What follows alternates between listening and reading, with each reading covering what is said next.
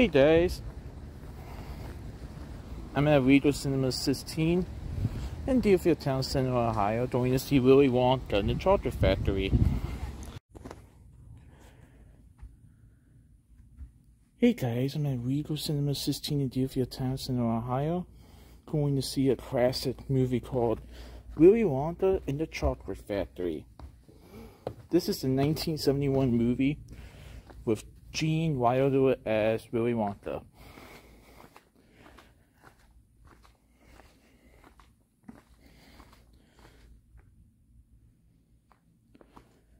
You guys might not know this, but this is going to be a Wonka movie in 2023 that's like more of a prequel film. And the director of Paddington 1 and 2 will be directed will be directing that film. I believe David Heyman will also produce that film. I've never seen this before. But I'm excited.